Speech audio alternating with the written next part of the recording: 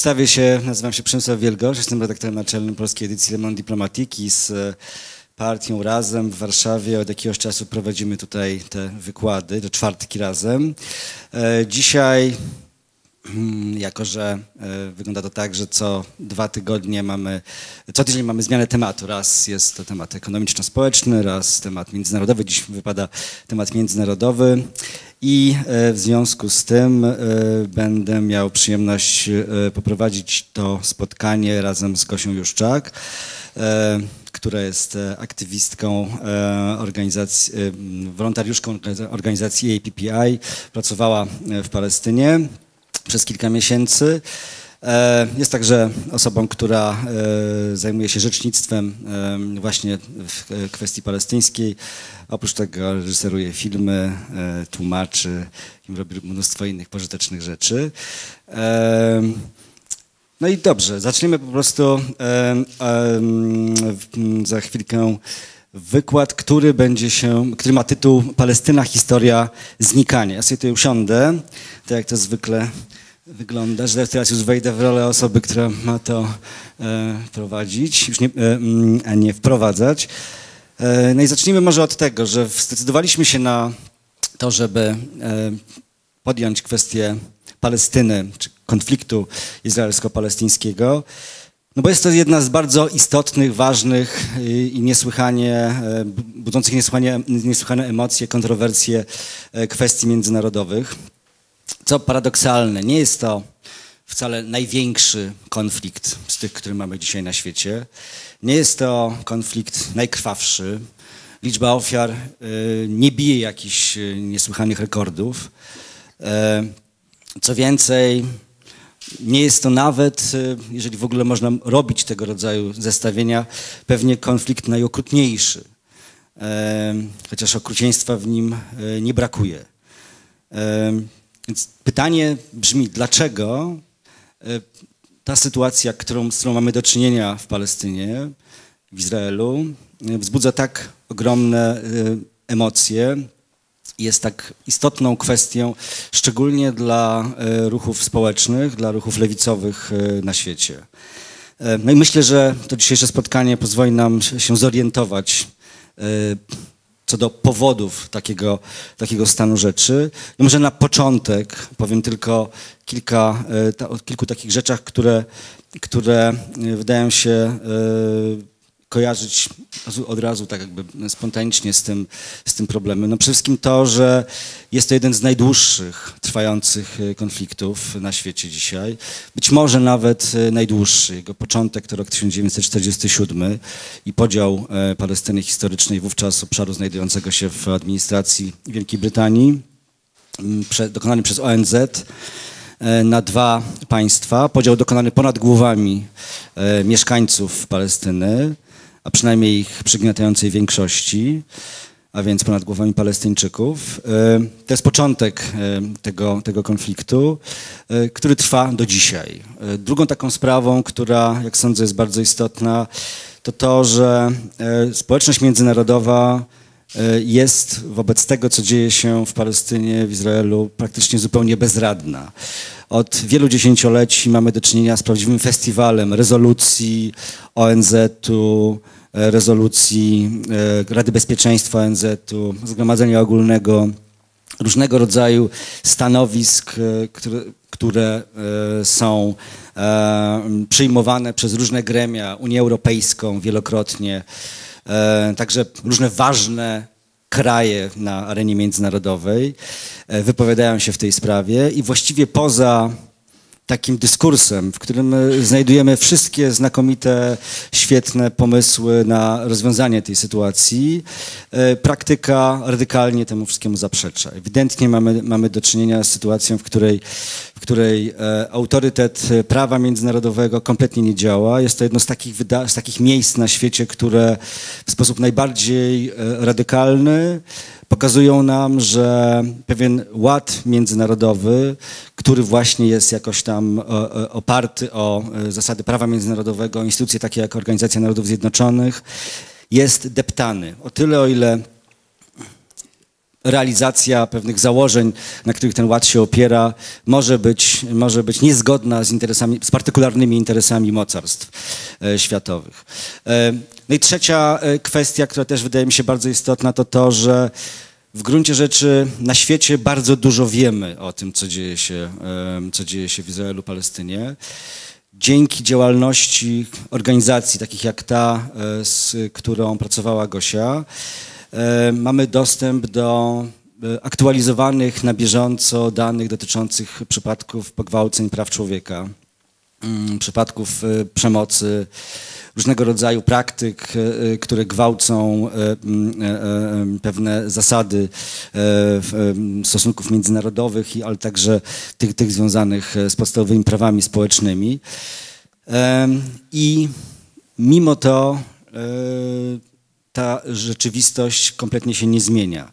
E, mimo tej możliwej, e, znaczy tak, mimo wiedzy, którą możemy e, dysponować, ewidentnie decydenci światowi nie chcą z tej wiedzy skorzystać, nie chcą, nie chcą, nie mają ochoty na, na skonfrontowanie swoich, swoich wyobrażeń o tym, co tam się dzieje z tym, co oferują im e, organizacje pozarządowe, organizacje praw człowieka. No i właśnie dlatego zdecydowaliśmy się na taką, a nie inną formę tego spotkania, może inną niż te poprzednie spotkania razem, e, taką e, prezentację właśnie głównie bazującą na mapach i na infografikach, które bardzo fajnie pokazują taką codzienność, bo to, co powiedział Przemek właśnie, że kiedy mówimy o konflikcie izraelsko-palestyńskim, od razu przychodzą do głowy pewne skojarzenia, e, różne też takie hasła powtarzane bardzo często w mediach, a zapomina się o takich mm, zupełnie bazowych e, elementach rzeczywistości tego terenu, o których właśnie powiemy. E, ja tylko bym powiedziała dwa słowa o, e, programie, z którym byłam w Palestynie. To jest program EAPPI, taka karkołomna nazwa e, po angielsku Ecumenical Accompaniment Program in Palestine Israel. Tam siedzi Dominik, się uśmiecham, który też brał udział w tym programie, może później coś uzupełni. To jest program powołany przez Światową Radę Kościołów i w ramach tego programu wyjeżdżają wolontariusze na trzy miesiące, bo to jest okres wizy, trwania wizy turystycznej po prostu w Izraelu i e, wjeżdżają do różnych miejsc, do, zarówno do miast, e, no byliśmy akurat właśnie w Hebronie, Betlejem, Jerozolima Wschodnia, ale też do mniejszych miejscowości. Niektóre z nich znajdują się przy murze, o którym też powiemy. E, no i co dalej? Historia. Dobrze, no to może tak pomyśleliśmy sobie, że w związku z tym, że jest bardzo wiele różnego rodzaju przekłamań, zafałszowań dotyczących tej sytuacji, o której chcemy mówić. I język e, jest jednym z takich kluczowych e, narzędzi, za pomocą których kreuje się pewien obraz e, rzeczywistości, bardzo odległy od tego, z czym mają do czynienia mieszkańcy Palestyny i Izraela na co dzień.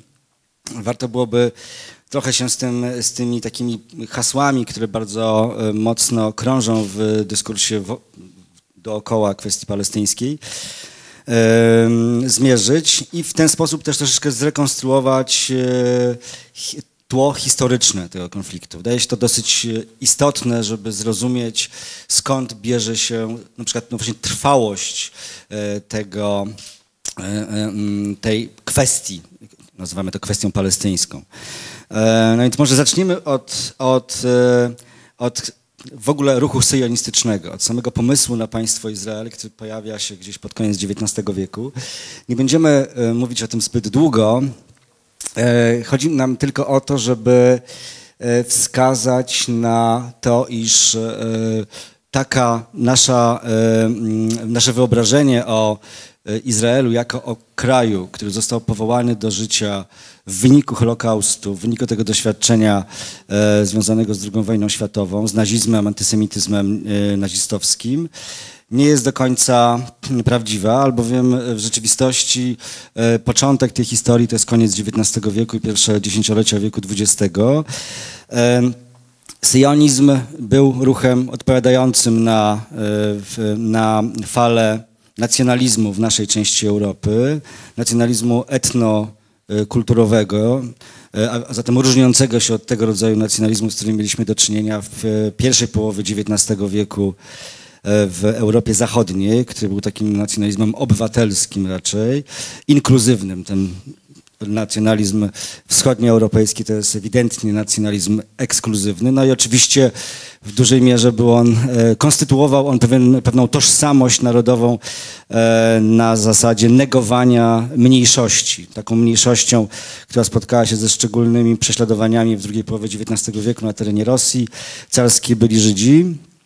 No i to była jedna, jeden z ważnych elementów e, napędzających, napędzających koncepcje sionistyczne, ten projekt sionistyczny, ale też trzeba pamiętać, że sam ten projekt, mimo że stanowił odpowiedź na nacjonalizm wschodnioeuropejski, polski, rosyjski, ukraiński, to także e, był rodzajem takiej formacji ideologicznej reprodukującej zasadnicze cechy tego nacjonalizmu. To ma ogromny wpływ na dzisiejszą politykę Izraela, dlatego warto o tym powiedzieć, że w gruncie rzeczy ta wizja państwa żydowskiego e, w dużej mierze powtarzała e, te elementy, które w Europie Środkowo-Wschodniej w drugiej połowie XIX wieku pojawiły się w dyskursach nacjonalistycznych. To znaczy miała to być wspólnota raczej mówiąc tak właśnie, e, e, nawiązując do pewnej tradycji nacjonalistycznej, krwi i ziemi po prostu. No, ewidentnie, ewidentnie od samego początku ruchu sionistycznego mamy do czynienia z takim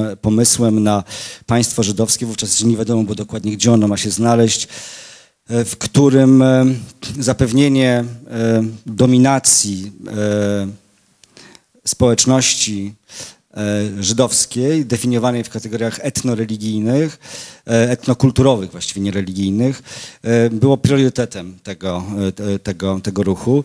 No i tutaj mamy taką ta pierwsza mapa to jest, taka, to jest taki, taki pomysł Światowej Organizacji Żydowskiej, w, który został zgłoszony podczas konferencji pokojowej w 1919 roku, kiedy to na gruzach Imperium Osmańskiego E, państwa europejskie zaczęły wytyczać, e, często przy użyciu linijek, granice e, państw bliskowschodnich, które zresztą zostały natychmiast pozbawione samodzielności i zamienione w kolonie zachodnioeuropejskie, brytyjskie i francuskie. Tutaj mamy pomysł, który wskazuje, że w gruncie rzeczy od samego początku syjoniści uważali, że cała Palestyna, cały obszar Y, który dzisiaj znajduje się pod kontrolą państwa izraelskiego, a więc tak zwana Palestyna historyczna, ale te także tereny położone na wschód od, od, od Jordanu, od rzeki Jordan y, i na północ od granic, od granic y, Libanu miałyby należeć, należeć do, do państwa żydowskiego. To e, jest dość istotna wiadomość, ponieważ e, do dzisiaj, trzeba o tym pamiętać, Izrael nie wytyczył swoich granic wschodnich, a więc i one rzeczywiście się nieustannie, nieustannie przesuwają na, na wschód, o czym będziemy e, za chwilkę mówić. Więc to jest jakby o tyle istotne, żeby zdawać sobie sprawę z takiego, takich elementów, które, których, o których zwykle się nie wspomina, kiedy mówimy o sionizmie.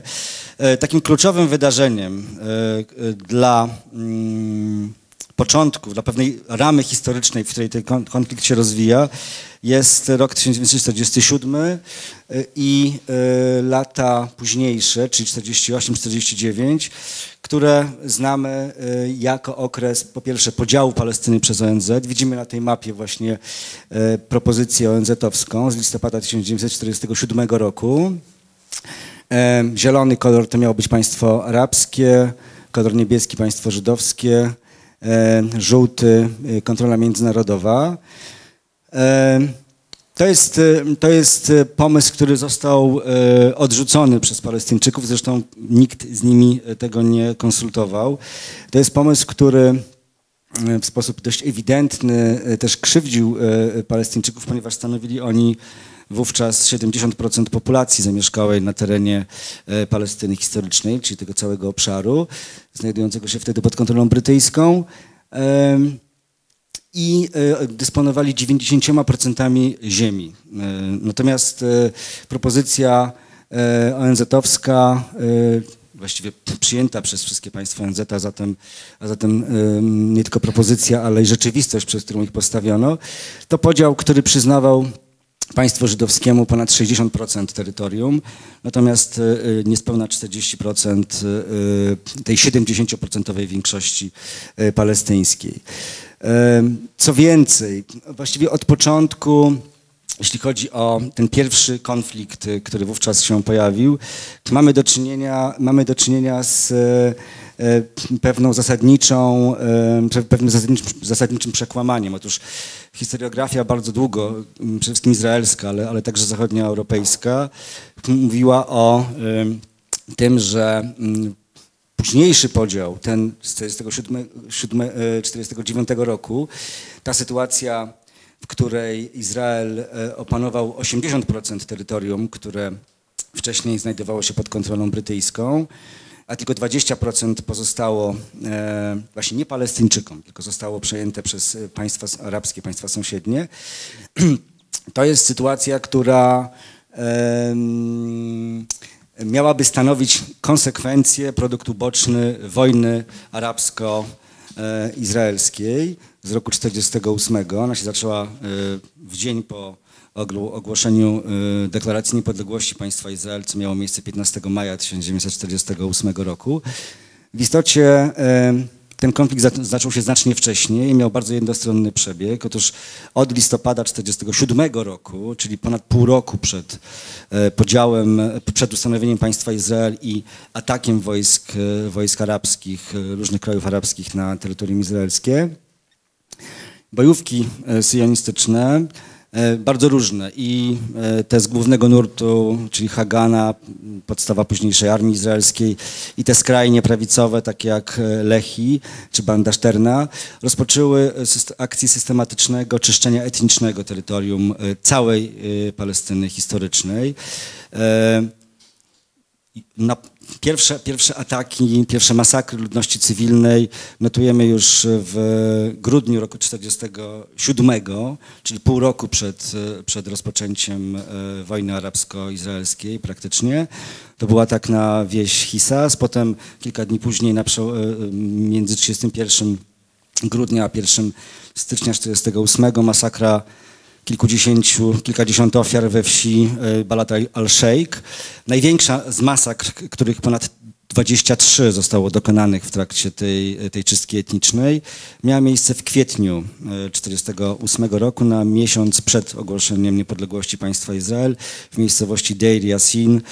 Bojówki izraelskie wymordowały ponad 140, 136 osób cywilnych.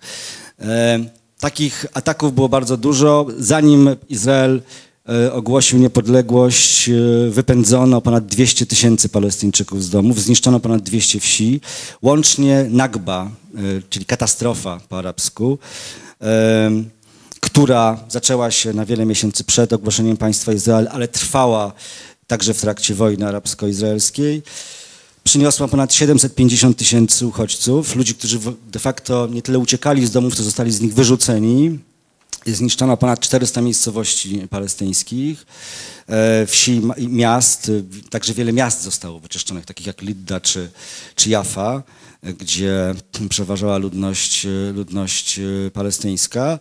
No i to jest coś, co taki izraelski historyk Benny Morris nazywa początkiem problemu uchodźców palestyńskich. Ci ludzie się rozproszyli po, po całym obszarze Bliskiego Wschodu, przede wszystkim w Jordanii, Libanie, Syrii, no ale także znaleźli się na terenie na terenie zachodniego brzegu, czyli to, e, te, tej, tej plamki zielonej, którą tutaj nazywają błędnie Palestyną, która wcale Palestyną nie, było, nie była, dlatego że w wyniku konfliktu e, izraelsko-arabskiego, którego nie należy mieszać z konfliktem e, izraelsko-palestyńskim, dokonano podziału Palestyny i poza tą 80% większością terytorium, która została, e, przy, którą zabrał Izrael, 20%, e, 20% podzieliły się między siebie e, Egipt, który zabrał strefę gazy oraz Jordania, która okupowała zachodni brzeg Jordanu.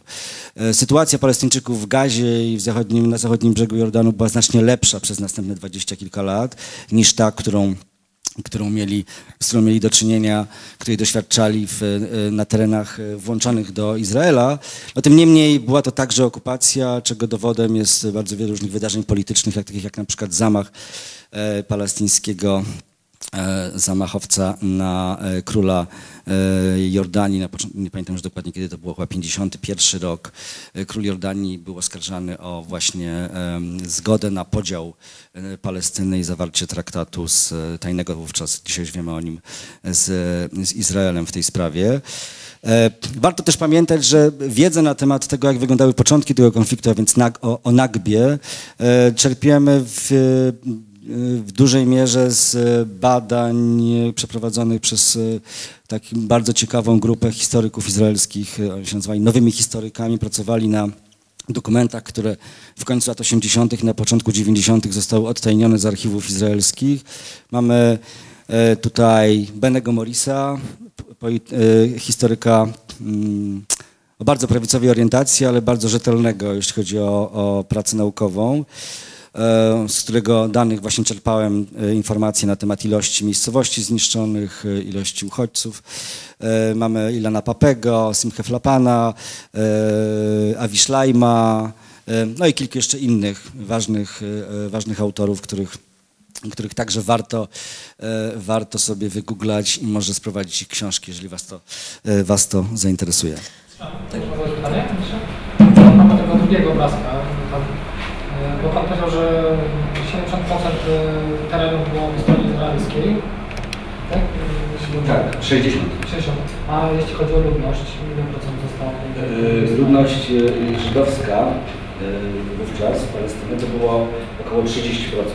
Około, około 300 tysięcy, 400 tysięcy ludzi. Natomiast, natomiast około 900 tysięcy to była, to była ludność arabska czy palestyńska. I jeszcze a propos tego eksodusu, tej ludności tak.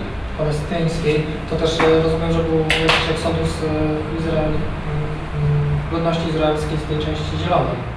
No właśnie chodzi o to, że w tej części zielonej praktycznie nie było, nie było ludności izraelskiej. Oczywiście były jakieś e, kolonie niewielkie, ale przygniatająca większość ludności żydowskiej koncentrowała się na tych obszarach przybrzeżnych oraz w Jerozolimie.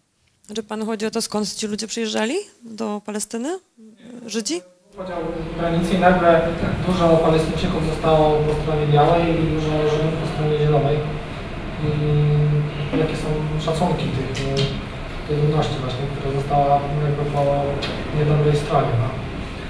To jest tak, że izraelska e, e, akcja czyszczenia etnicznego dotyczyła całego terytorium, nie tylko tego terytorium przyznanego Izraelczykom e, przez ONZ, ale, ale także okolic Jerozolimy na przykład. Tutaj bardzo dobrze to widać, Jerozolima jest daleko na obszarze, na obszarze państwa arabskiego. Tymczasem tutaj dookoła Jerozolimy także dokonywano tych ataków na, na, na wsi arabskie.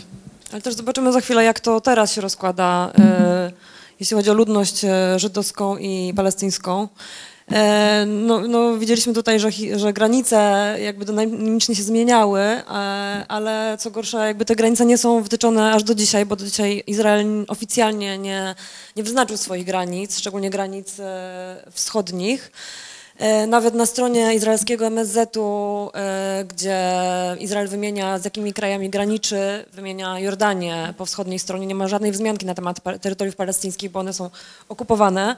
Tak? W 1967 roku doszło do przejęcia terenów e, zachodniego brzegu, tak? to co tutaj widzimy, i strefy gazy, tej malutkiej. I od tego czasu trwa, e, od 1967 roku oficjalnie uznana przez ONZ i wszelkie organizmy międzynarodowe trwa okupacja e, terytoriów palestyńskich. Jeśli chodzi o granice, to to jest właściwie taki e, temat kluczowy, bo właściwie trudno stwierdzić, gdzie one się znajdują. Oficjalnie tak zwana zielona linia, czyli tutaj widzimy zieloną dosłownie linię, zielona linia to jest granica, to jest linia demarkacyjna z 1949 roku, po I wojnie izraelsko-arabskiej, e, która została uznana przez społeczność międzynarodową, przez ONZ między innymi, e, za powiedzmy taką quasi oficjalną granicę państwa Izrael.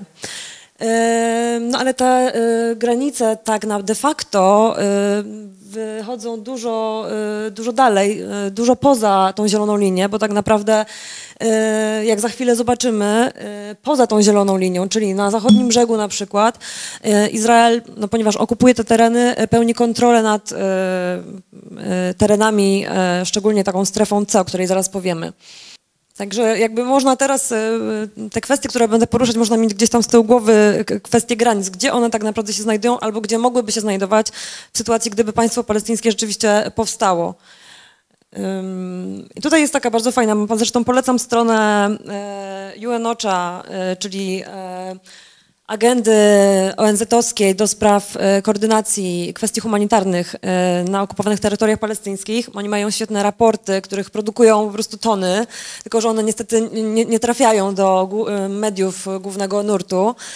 Mają świetne mapy i tu jest taka jedna z map, mapa taka interaktywna, gdzie przenieśliśmy się, prawda, z e, tego całego terenu na zachodni brzeg. Będę mówiła głównie o zachodnim brzegu, bo tam akurat byłam, więc jakby to są takie moje doświadczenia z pierwszej ręki, no poparte tymi e, danymi ONZ-owskimi. Tu mamy zieloną linię wyznaczającą e, terytorium zachodniego brzegu.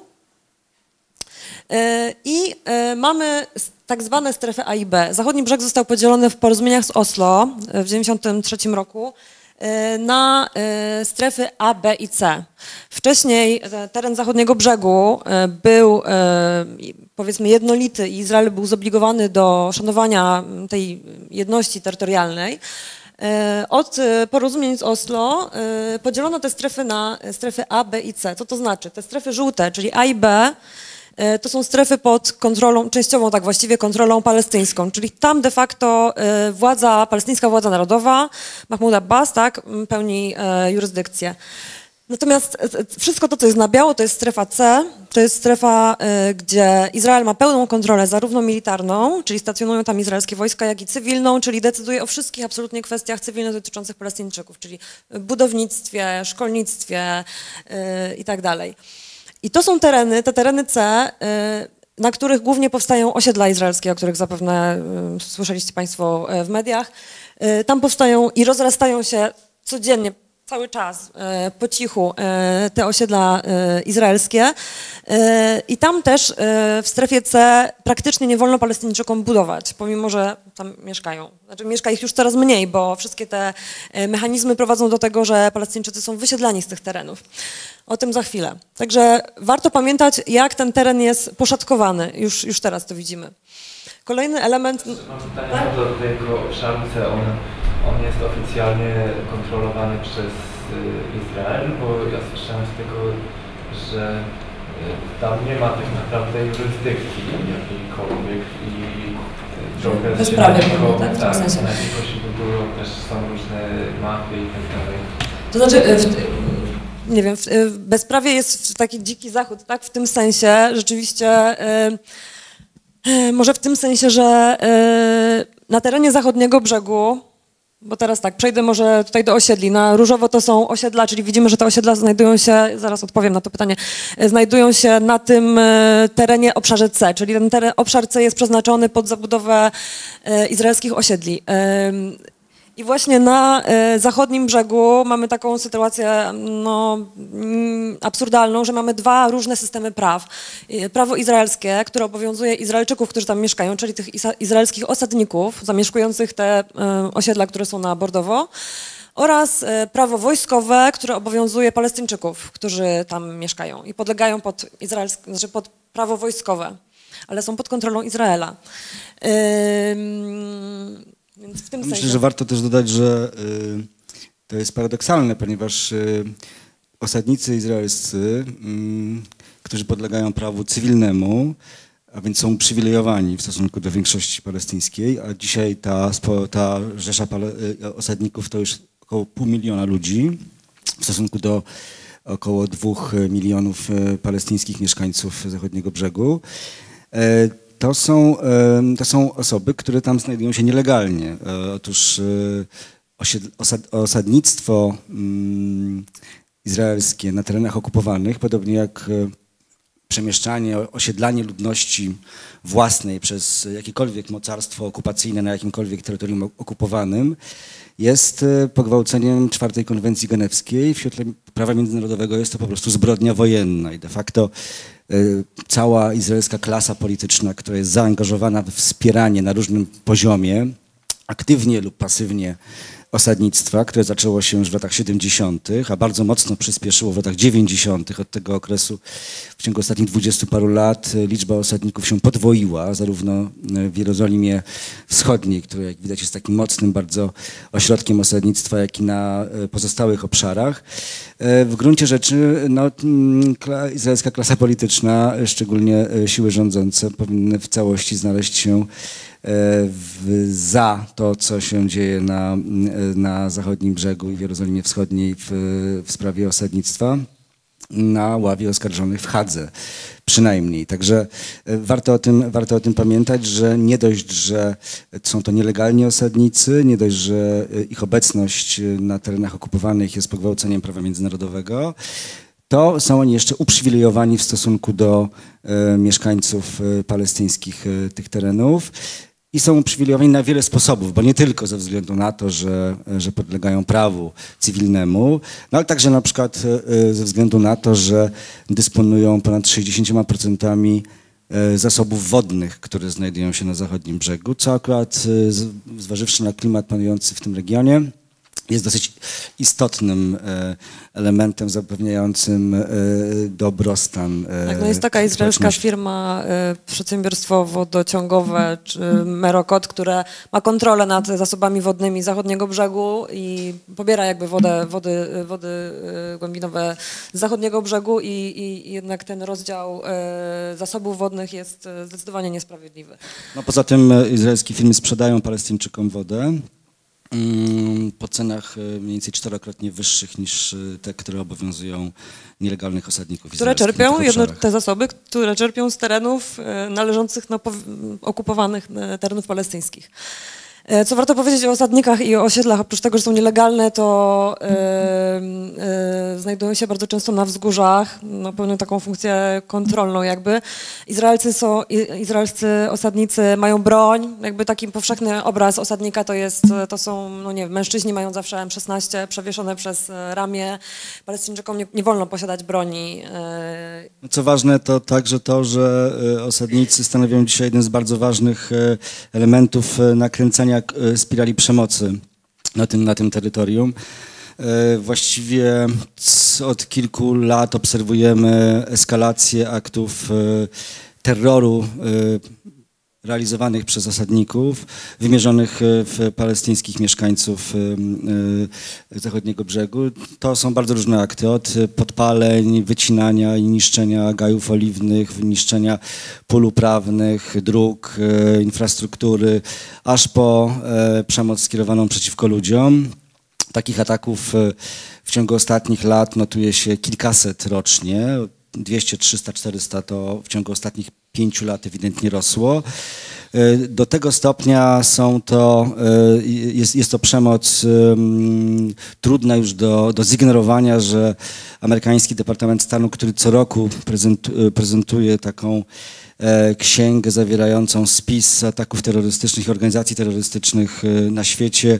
W 2013 roku po raz pierwszy wpisał na listę, na listę ataków terrorystycznych i podmiotów zaangażowanych w te ataki właśnie osadników izraelskich e, e, na, na zachodnim brzegu. To jest bardzo istotne, zważywszy na to, że Stany Zjednoczone murem stoją za e, izraelską polityką okupacyjną od 40 kilku lat. E, ale kim są tak naprawdę osadnicy? Bo osadników można podzielić na tak zwanych ekonomicznych i, i, ideologicznych. Tak naprawdę większość ludzi, którzy się, Izraelczyków, którzy się przesiedlają na tereny okupowane, to są e, osadnicy ekonomiczni, czyli ich, e, i nimi kieruje po prostu kierują przesłanki ekonomiczne, bo rząd Izraela jakby zapewnia tańsze mieszkania dla Izraelczyków na zachodnim brzegu, więc oni się przesiedlają z tych względów.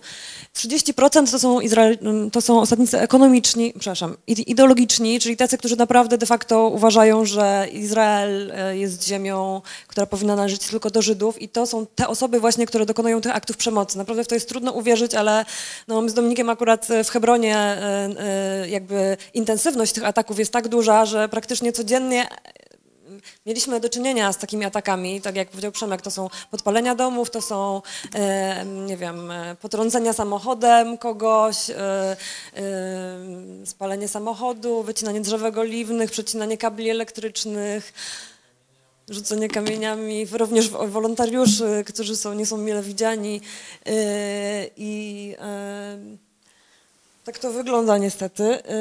Także co, co istotne, to mm, dla Palestyńczyków Żyd, niestety, i Izraelczyk to jest żołnierz albo osadnik, bo to są y, Izraelczycy, z którymi Palestyńczycy mają na, co dzień do czynienia, bo to są Izraelczycy, którzy y, na zachodnim brzegu przebywają. Także przeciętny Palestyńczyk ma kontakt y, z żołnierzami i z, i z osadnikami, którzy zawsze jednak niosą tą przemoc. E, są oczywiście organizacje izraelskie pokojowe e, i wolontariusze, którzy jeżdżą na zachodni brzeg i e, wspierają Palestyńczyków na przykład we wspólnych protestach pokojowych, no ale to jest bardzo mała grupa, więc trzeba o tym pamiętać.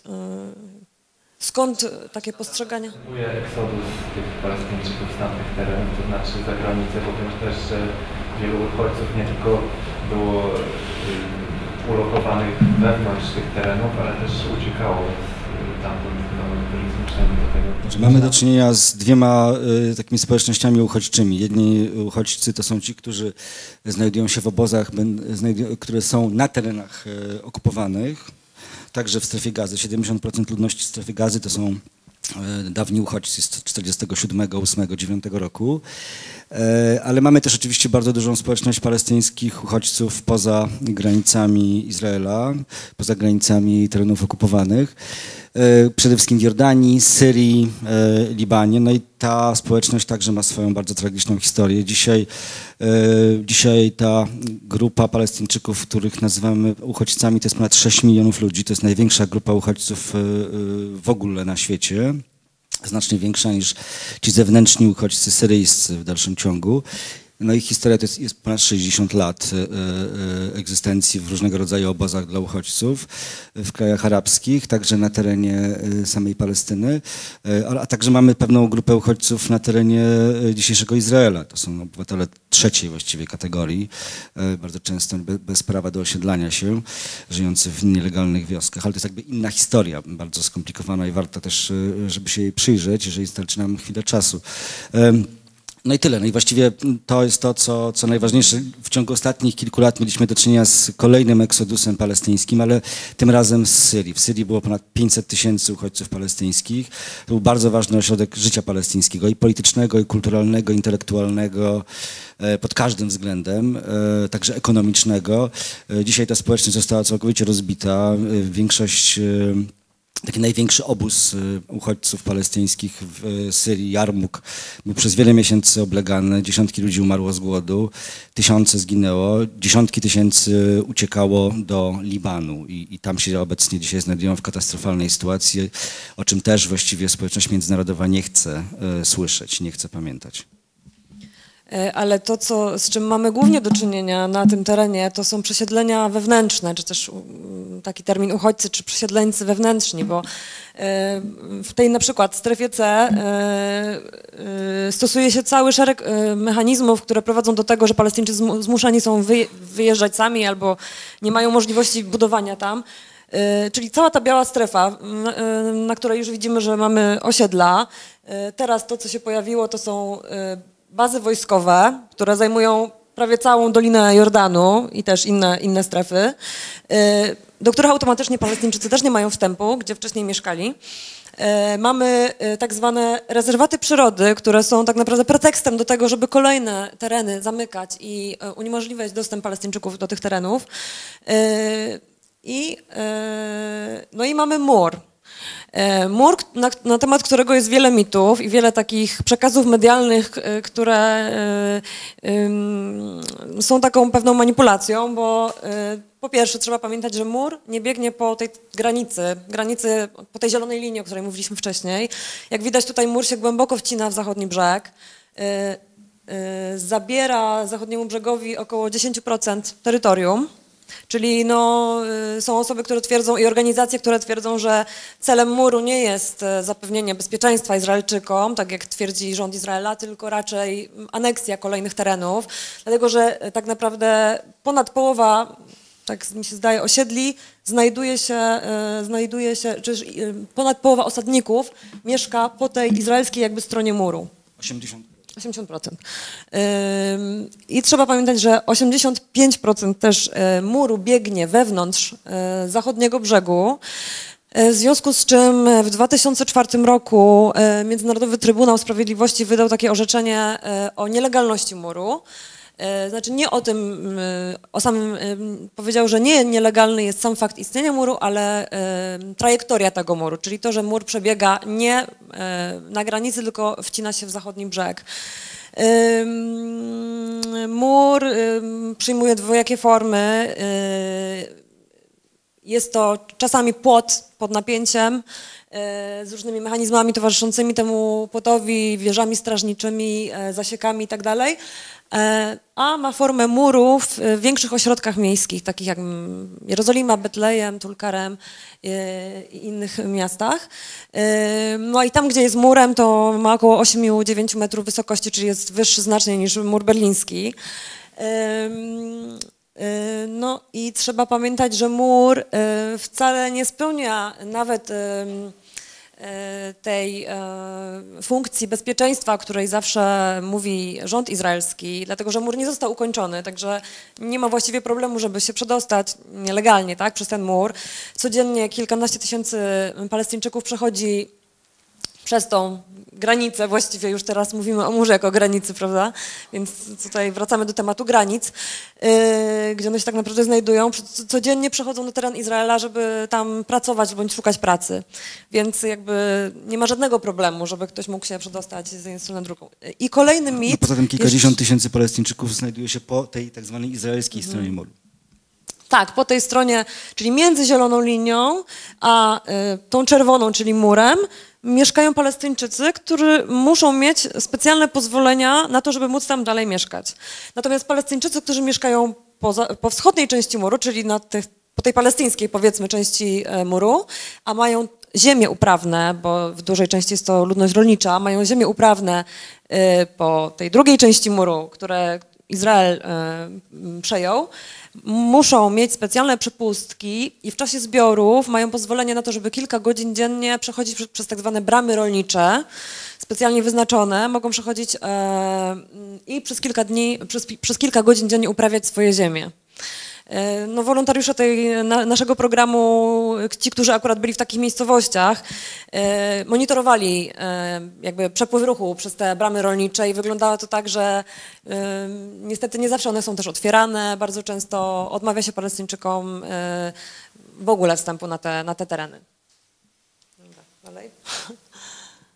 E, No i tutaj są drogi, drogi, które drogi, po których Palestyńczykom nie wolno jeździć. E, Trzeba powiedzieć, że mm, osiedla połączone są drogami e, tylko dla Izraelczyków, po których Pale- Palestyńczykom nie wolno, nie wolno się poruszać.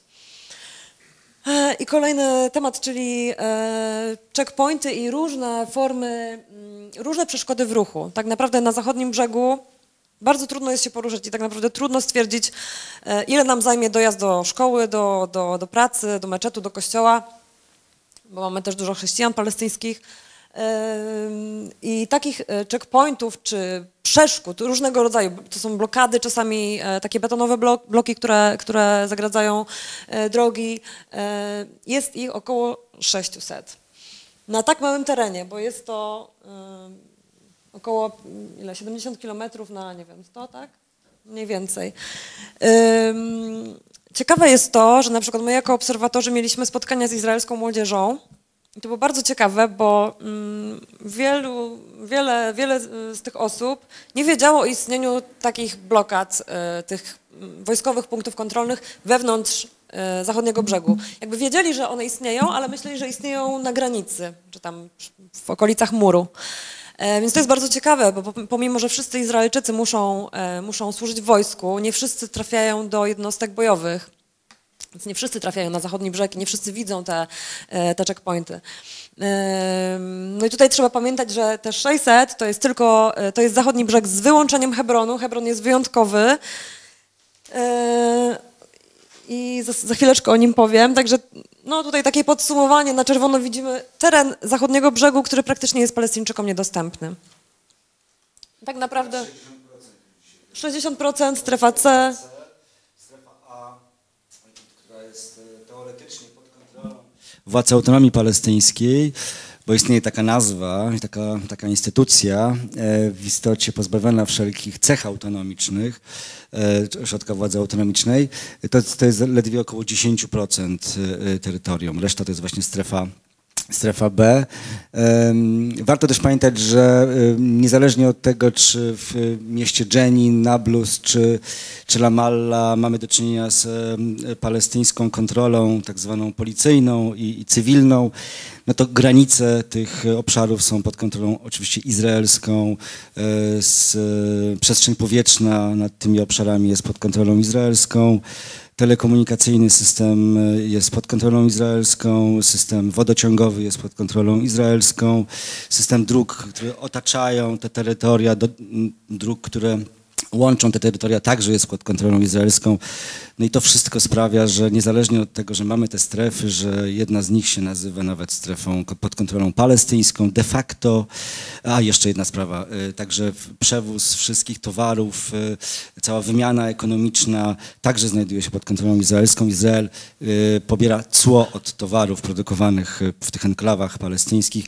De facto te enklawy, które możemy nazwać albo bantustanami, albo gettami, są całkowicie pozbawione jakiejkolwiek możliwości samodzielnego funkcjonowania co ma ogromne znaczenie dla ewentualnych y, pomysłów na y, jakieś rozwiązanie pokojowe tej sytuacji, na przykład budowę państwa palestyńskiego. Dzisiaj to, co się dzieje, de facto y, uniemożliwia myślenie o jakimkolwiek państwie palestyńskim. To widać na tej mapie. E, Jeszcze tylko a propos tych stref A, B i C, e, tak jak e, powiedziałam, one zostały wyznaczone w, w 1993 roku w czasie procesu pokojowego z Oslo, e, ale miały, miały to być, był taki e, okres przejściowy pięcioletni. Po, po pięciu latach stopniowo te tereny pod kontrolą izraelską miały być e, przekazywane władzy palestyńskiej. To, to nigdy nie nastąpiło, jak, jak widać. E, I też w tych dokumentach z Oslo nie było żadnej wzmianki na temat e, państwa palestyńskiego. To też jest e, dosyć znamienne. No i e, na tej e, strefie C, e, białej, tudzież czerwonej, Palestyńczykom praktycznie w ogóle nie wolno budować i mamy do czynienia z masowymi, masowymi naprawdę wyburzeniami domów. Wygląda to tak, że Palestyńczycy zmuszeni są, muszą prosić o pozwolenia na budowę władzę izraelską. Te pozwolenia dostaje może jakieś 4-5% jedynie, także cała reszta buduje, buduje nielegalnie i pod przykrywką właśnie tej nielegalności są e, te domy burzone. I od początku, e, od początku okupacji, czyli od 1967 roku, wyburzono już e, około 25 tysięcy domów palestyńskich. Jeszcze mógłbym mieć pytanie o uchodźców palestyńskich, bo nigdy nie mogłem zrozumieć, dlaczego na terenie Palestyny czy zachodniego brzegu są obozy dla uchodźców palestyńskich. I czy one, czy to są osiedla po prostu i tak się nazywają, czy one są, nie wiem, jakimś specjalnym otoczone ogrodzeniem? Tak, no to jest rzeczywiście specyficzny, e, specyficzna forma osiedli dla uchodźców, bo to nie są takie osiedla dla uchodźców, które e, gdzieś tam e, kojarzymy, czyli namioty na przykład. To są uchodźcy, którzy zostali wypędzeni przez wojska izraelskie, czy też bojówki właśnie w 1947-1948 roku, podczas tej Nagby, o której mówił Przemek, później również w 1967 roku, w cz- w czasie wojny, e, wojny siedmiodniowej. I te osoby e, osiedliły się czy też to miało być tymczasowe, więc na początku były namioty, później już no, okazało się, że tej możliwości powrotu uchodźców palestyńskich nie ma. Zresztą do tej pory jest to temat sporny, y, temat negocjacji poko pokojowych tak zwanych. Yy, I yy, ci uchodźcy palestyńscy są w, w, tych krajach ościennych, tak w Jordanii, w Libanie, yy, w Syrii, ale są też na zachodnim brzegu i są w Gazie. Ale w tej chwili te obozy dla uchodźców wyglądają tak, że to już jest któreś pokolenie. To są tak, zwane, to są tak naprawdę dzielnice takie, można powiedzieć, wygląda jak takie dziel, biedniejsze dzielnice z bardzo wąskimi uliczkami, gdzie bardzo często armia izraelska dokonuje nalotów, także to one są bardzo też dotknięte, dotknięte przemocą, te osiedla. Nie wiem, czy coś chcesz dodać a propos? To Przemku? Okay. Tutaj tylko taki przykład Hebronu, bo wszystko to, co powiedziałam, czy co powiedzieliśmy y, na taką skalę y, większą, czyli skalę zachodniego brzegu, tutaj możemy zobaczyć to samo w pigułce na przykładzie Hebronu, Hebronu, w którym y, pracowałam trzy miesiące. To się może wydaje krótko, ale naprawdę intensywność jakby różnych wydarzeń i pracy obserwatorów jest tak duża, że to jest bardzo naprawdę silne doświadczenie i, i w Hebronie, Hebron jest wyjątkowym miastem, bo w Hebronie osiedla izraelskie, które normalnie na całym zachodnim brzegu są takimi yy, twierdzami, do których nikt nie ma wstępu, są takimi miasteczkami. Yy, w Hebronie yy, to jest dosłownie kilka domów, kilka budynków, które znajdują się w centrum jednego z większych palestyńskich miast. To na niebiesko, te punkty na niebiesko to są tak zwane osiedla izraelskie. To są dosłownie budynki pojedyncze. I w Hebronie mieszka e, około 500 zaledwie e, osadników izraelskich. E, ta część, Hebron jest podzielona na dwie części, H1, H2, nieważne, ale ta część po prawej stronie od tej czarnej linii to jest część H2, gdzie Izrael sprawuje pełną kontrolę. Co jest istotne? To jest miejsce, gdzie znajduje się Stare Miasto, gdzie znajduje się według e, tradycji e, chrześcijańskiej i muzułmańskiej również grup Abrahama i Sary i innych patriarchów. E, jest tam meczet synagoga podzielone na pół i z powodu obecności na tym terenie tych 500 osadników, tam mieszkają właśnie ci osadnicy ideologiczni, czyli tacy, którzy naprawdę wierzą w to, że oni muszą, ich, ich misją jest przejęcie tych terenów e, dla Izraela. E, w związku z ich obecnością e, zamknięto główne drogi dla Palestyńczyków.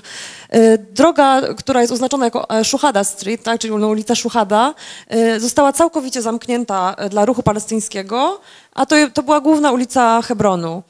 Ulica, na której były, nie wiem, takie markety warzywne, targ, targ warzywny, stacja autobusowa. A te fioletowe drogi to są drogi, po których Palestyńczykom wolno się poruszać pieszo, ale nie wolno im używać samochodów, tylko osadnicy mogą jeździć samochodami. E, także Hebron jest bardzo naznaczony tymi restrykcjami. E, dochodzi do tego, że na przykład osoby, które mieszkają przy tej ulicy Szuchada, bo nadal mieszkają tam ludzie, muszą się dostawać do swoich domów e, tylnymi wyjściami albo przez jakieś domy sąsiadów. To są naprawdę absurdalnie takie, absurdalne i takie kawkowskie wręcz sytuacje. I w samym Hebronie, tak jak na całym zachodnim brzegu mamy 600 różnych tam przeszkód w ruchu, tak w samym Hebronie mamy ich około 100. Czyli żeby naprawdę przejście do, e, do meczetu czy do szkoły e, bardzo często e, wygląda tak, że trzeba przejść przez kilka checkpointów. Na tych checkpointach nawet dzieci są przeszukiwane, są poniżane, bardzo często zatrzymuje się osoby bez żadnego absolutnie powodu na, na wiele godzin. No i my też jako obserwatorzy to monitorowaliśmy no i spisywaliśmy raporty, które trafiają później do ONZ-u. Te raporty, stosy tych raportów rosną i i nic się więcej nie dzieje. A Państwo mogli się poruszać po tych ulicach?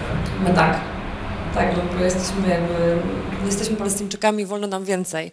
I też na tym polega trochę taka funkcja, którzy, którą mają obserwatorzy, to się nazywa obecność ochronna, tak, protective presence, takie pojęcie, e, po prostu e, miejsce, w którym pojawiają się obserwatorzy czy naszego programu, czy jakich, e, jakichkolwiek innych, jednak no, pokazuje, że gdzieś tam te akty przemocy, być może, taką mamy też nadzieję, troszeczkę spada ich liczba, bo jednak to, że ktoś to sfilmuje, to, to że, że ktoś to dokumentuje, że patrzę, nie wiem, tym wojsku izraelskiemu na ręce i osadnikom jakiś tam może minimalny ma, ma wpływ, dlatego że no, e, jakby no, życie nasze jest bardziej cenne niż palestyńskie życie, więc jakby tak samo jak e, w, e, w, podczas protestów pokojowych, bo mamy bardzo silny ruch oporu palestyński, pokojowy, który nie stosuje absolutnie przemocy, a którym nie słychać w mediach, bo nie jest niemedialny. E, Co piątek mamy demonstracje pokojowe, na które jeżdżą, e, jeździ bardzo dużo Izraelczyków i też e, ludzi z całego świata, ale też Izraelczyków, którzy e, solidaryzują się z Palestyńczykami i oni właśnie tam jadą w takim celu, że jakby no, wojsko izraelskie raczej nie postrzeli tak łatwo i tak szybko e, Izraelczyka jak Palestyńczyka. No, no na tym to niestety polega. A też jeszcze mogę zapytać, a jak rozpoznawali, że państwo nie są palestyńczykami po kolorze skóry? Czy... No na pewno, na pewno po aparycji nie zdecydowanie, ale też nosiliśmy takie, e, takie specjalne kamizelki z logiem tego programu naszego, więc to było wiadomo, ale no to łatwo jest myślę. Po kolorze skóry, bo wiem, że osoby, znaczy nie tylko jeśli chodzi o skóry, ale też y, jeśli są w kurkach czy hijabach i chcą przejechać przez checkpoint, to często są właśnie te osoby, prawda? Podobnie jak przecież w Stanach Zjednoczonych y, Afroamerykanin ma większą szansę być przeszukany niż biały. To znaczy, myślę, to jest bardzo łatwo rozpoznać, kto jest e, takim wolontariuszem czy osobą z zewnątrz, e, ale na... My mieliśmy jako, jako obserwatorzy szkolenia z byłymi żołnierzami. E, Jest taka organizacja bardzo prężnie działająca, Breaking the Silence. W zeszłym roku zresztą był w Warszawie e, jej Jehuda Shauli, założyciel, e, jeden z założycieli tej organizacji. I to jest organizacja byłych żołnierzy izraelskich, którzy postanowili powiedzieć o swoim doświadczeniu ze służby na terytoriach okupowanych. Bardzo w krytyczny bardzo sposób. I oni nam mówili o tym, że... Tak? Tak, że żołnierze izraelscy y, y, jakby filtrują te osoby, które przechodzą absolutnie na podstawie własnych stereotypów. Czyli takich stereotypów, które funkcjonują nawet teraz, kiedy mówimy o islamie, kiedy mówimy o uchodźcach, tak? Że e, facet z brodą jest bardziej niebezpieczny niż facet bez brody. No, tak nam to przedstawiał ten, e, ten e, były żołnierz. Także, Uważajcie, faceci z brodą po prostu. no niestety. No i tutaj tylko jakby skala znowuż wyburzeń. Chcesz coś dodać? Nie, wydaje mi się, że warto też pamiętać, że y, wyburzenia dzielimy na dwie kategorie. Są wyburzenia karne. To jest taka praktyka, którą Izrael przejął od y, Brytyjczyków, którzy w latach 30. w trakcie powstania antykolonialnego palestyńskiego w, latach 1936-39 było takie bardzo duże powstanie, jak skończyło się e, klęską. Izrael, Brytyjczycy wtedy zastosowali cały wachlarz e, różnych e, e, działań represyjnych wobec całej ludności palestyńskiej, szczególnie wobec e, mieszkańców miejscowości, które stawiały opór e, kolonizatorom oraz wobec ich rodzin. Między innymi, między innymi praktykowano wyburzenia domów e, rodzin ludzi zaangażowanych e, w, w powstanie. E, Coś takiego realizuje także władza, władza izraelska. Jest bardzo wiele takich praktyk przejętych przez, przez Izrael od Brytyjczyków. Natomiast trzeba pamiętać, że tylko niewielka część tych wyburzeń, o których mówiliśmy, to są wyburzenia e, karne, te, które stosują zasadę odpowiedzialności zbiorowej, czyli de facto też są e, e, przestępstwem w świetle prawa międzynarodowego. Takich rzeczy po prostu nie wolno robić. E, natomiast grubo ponad 90% wszystkich wyburzeń to są tak zwane wyburzenia administracyjne, czyli to są te wszystkie działania, o których Gosia mówiła, mające na celu wypieranie Palestyńczyków ze strefy C, ale także z innych obszarów, szczególnie położonych wokół Jerozolimy. Tam się dzisiaj koncentruje większość e, wyburzeń e, nie tylko budynków mieszkalnych, ale w ogóle budowli e, palestyńskich. I to są wyburzenia, ale też czasami tylko eksmisje, bo y, okazuje się nagle, że w, w miejsce rodziny palestyńskiej za chwilę y, zamieszkuje dany dom y, rodzina izraelska, więc y, są ewidentnie, y, nawet jest taki termin judeizacji na przykład Jerozolimy Wschodniej, e, jest, jest otwarcie jakby e, zdeklarowana taka polityka miejska, żeby 70% e, Jerozolimy to byli mi, mieszkańcy pochodzenia żydowskiego. Ale co jest jeszcze istotne a propos wyburzeń, to to, że one nie tylko w tej strefie C, ale też w samym Izraelu mają miejsce. Mamy mm, tam społeczność Beduinów, którzy mieszkali tradycyjnie też na pustyni Negev e, i e, Izrael w którymś momencie nazwał ich e, obozy czy ich wioski nielegalnymi. To się nazywa takie unrecognized villages, nie, nieuznane wioski. W związku z tym również e, są one burzone i przesiedla się tych e, Beduinów na inne tereny. E, I jest taki przykład wioski Al-Arakib, która była burzona, nie pamiętam, chyba kilkadziesiąt nawet razy. To znaczy, oczywiście to są dość prymitywne budynki i struktury, które są burzone, ale no, tyle razy było burzone, że no, aż, aż trudno w to uwierzyć. No, jeśli chodzi o, o, te wsie nielegalne, to jest dosyć, dosyć spore zjawisko, dotyczy nie tylko Beduinów. Jest około stu, kilkudziesięciu e, takich wsi na terenie Izraela dzisiejszego, zamieszkiwanych przez ludność e, palestyńską, które nie są uznawane. Mieszka tam ponad 100 tysięcy ludzi. E, no i e, to są ludzie, którzy nie mają dostępu na przykład do elektryczności, do wodociągów, do całej instalacji wodnej, do dróg i tak dalej. Tam nie ma żadnych inwestycji publicznych. E, tak, i e, no bo trzeba pamiętać, e, trzeba pamiętać już sekundkę tylko, a tak, cześć. Chciałem zapytać, bo tak. 100 razy byłem w Izraelu. No właśnie. Opowiadała mi o hotelach, mieliśmy poszczególne wzgórza. Opowiadała mi, że to się nazywa Tel. I ona mi mówiła właśnie, że to jest taki mm, teren, gdzie zostało wyburzone jakieś miasto, przykryte i postawione na tym nowe miasto. Czy to jest to? Ale gdzie to było? Właśnie po stronie izraelskiej. Znaczy ten znaczył arabski po prostu wzgórze. Tak, tak, tak. Tylko ona mi pokazywała takie te wzgórze, które właśnie składały się z poszczególnych warstw wyburzonych po kolei miast. Czy to jest możliwe? No. Jest możliwe, dlatego że w 1947-1948 roku kilkaset miejscowości na terenie dzisiejszego Izraela zostało zrównanych z ziemią. Część z tych miejscowości zostało później zasiedlonych, część, na, na y, części tych miejscowości znajdują się dzisiaj miasta, fabryki, osiedla, uniwersytety izraelskie. Byliście na terenie Izraela, tak? Czy na terenie zachodniego brzegu? Na terenie Izraela.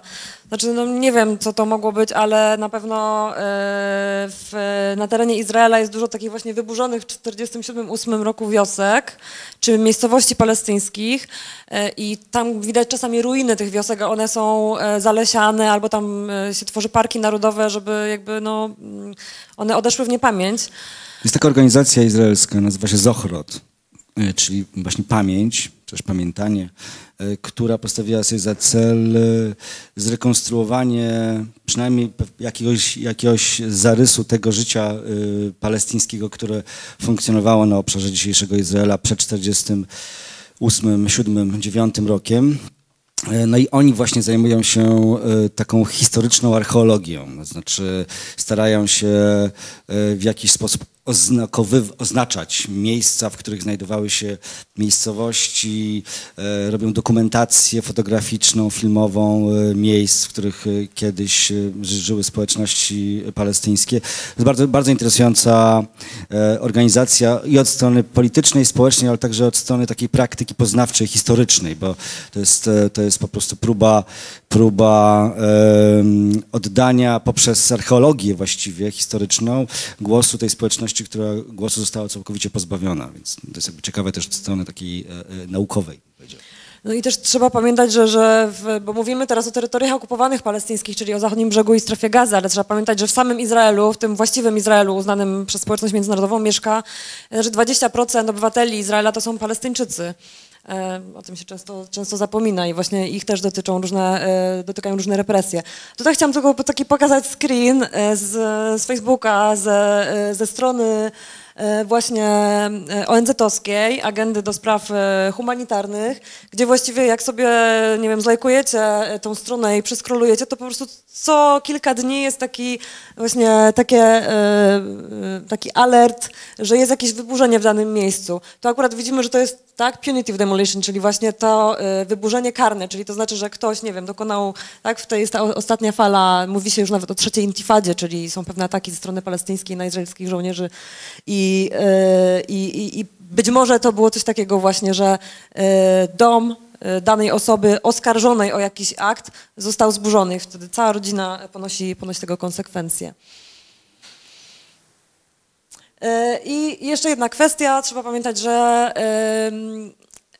praktycznie połowa nie wiem, męskiej populacji i palestyńskiej miała jakieś doświadczenia z izraelskim więzieniem. Do więzienia można trafić absolutnie za nic i to jest bardzo powszechna praktyka. E, do więzienia trafiają również dzieci, e, ale co jest bardzo ważne, trzeba pamiętać, że Izrael stosuje taką procedurę, którą nazywa aresztami administracyjnymi. I polega to na tym, że można zaaresztować Palestyńczyka bez przedstawienia mu zarzutów i bez procesu. I takie, e, takie zatrzymanie może trwać do 6 miesięcy, ale może być przedłużane w nieskończoność. Ten okres sześciomiesięczny jest wielokrotnie przedłużony. Także wielu, wielu Palestyńczyków e, jest e, osadzonych w palestyńskich więzieniach, w izraelskich więzieniach, przepraszam, i jest tam, przebywa tam wiele lat, nie znając nawet przyczyn. Ile osób teraz jest, to pamiętasz? Ja myślę, że tak, że to, y, obecnie mamy kilka, kilka około 7 tysięcy palestyńskich więźniów w izraelskich więzieniach.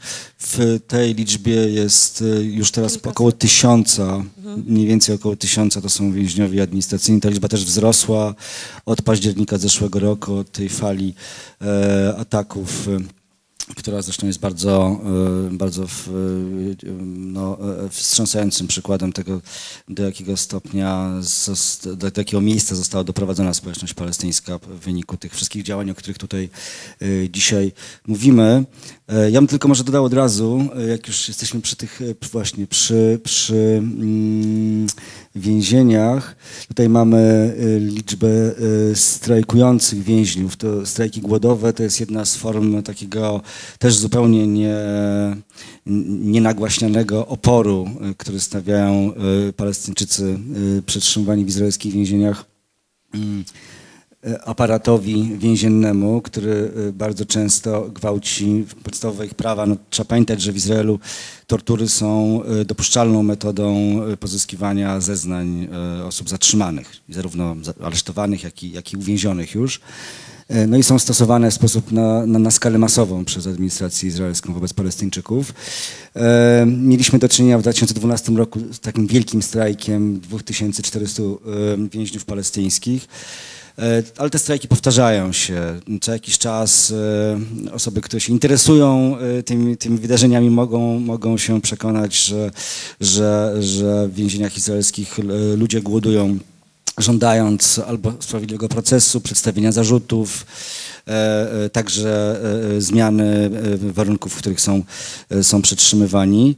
No ale to jest też taka, taka forma oporu, która nie znajduje specjalnego zainteresowania ze strony mediów międzynarodowych. Tak, to jest też bardzo. Jakbym może podsumowała tą, tą, tą, tą, prezentację do tej pory tym, że, że to jest właśnie ten kontekst, o którym bardzo często e, e, nie wiemy i słyszymy tylko takie wyrywki e, z tej, z tej codziennej sytuacji, z tych faktów w terenie, które tutaj widzieliśmy.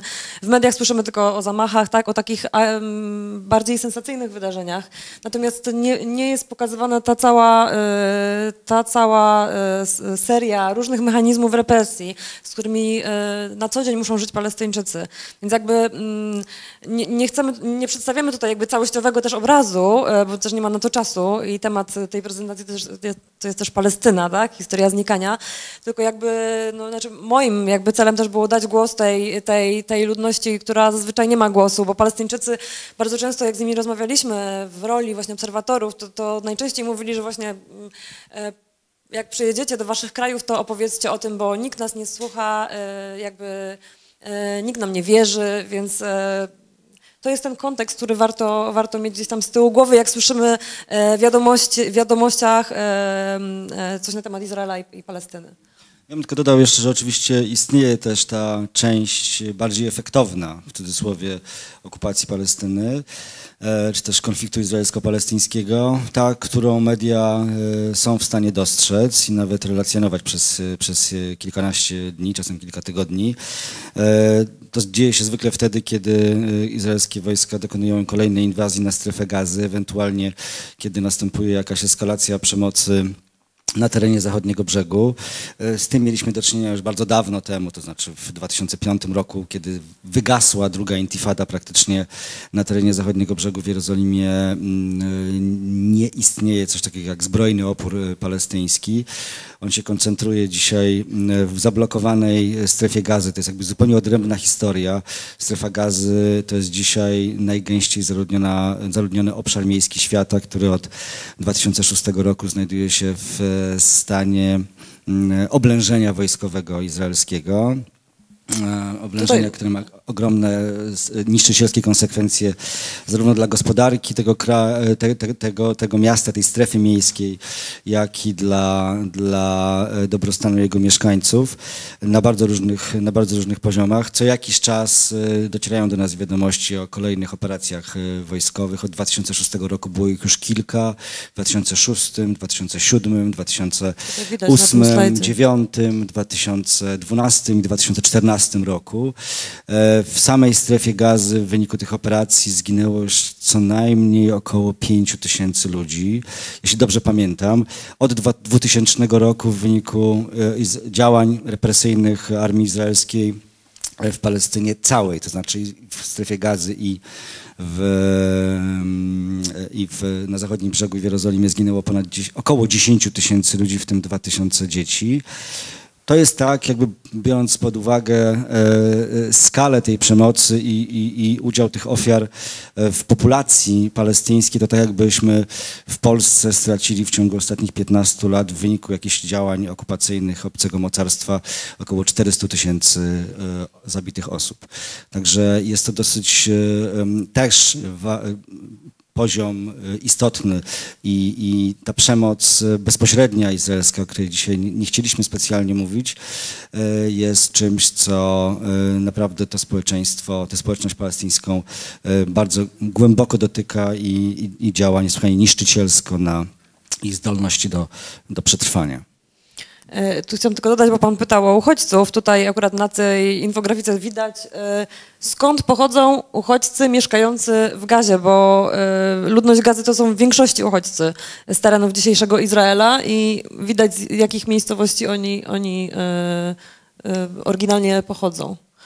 A tu jeszcze takie porównanie, że Gaza jest taka malutka yy, i gęsto zaludniona. To jest 40 km długości i w, naj, w, naj, w, najszerszym, y, w najszerszym miejscu około 10 km szerokości. Także właściwie jest to obszar przyparty do morza i e, onegdaj nieżyjący już premier e, Izraela Yitzhak Rabin w chwili szczerości powiedział, że jego marzeniem jest zepchnąć gazę do morza, co jest o, tyle perwersyjnym sformułowaniem, że przez wiele lat E, propaganda izraelska e, e, twierdziła, że to spisek państw arabskich ma na celu zepchnięcie do morza państwa Izrael.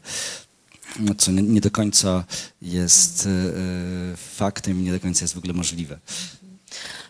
Ja tylko jeszcze, może przejdziemy do pytań, a ja tylko jeszcze na koniec, niewiele, ja jeszcze, ale i tak pytania już były. E, ja tylko e, chciałam e, powiedzieć, że warto naprawdę wejść sobie na te strony. To są takie kluczowe strony, gdzie można znaleźć informacje, raporty. Betselem to jest największa izraelska organizacja praw człowieka. Tam naprawdę jest mnóstwo informacji, map, raportów.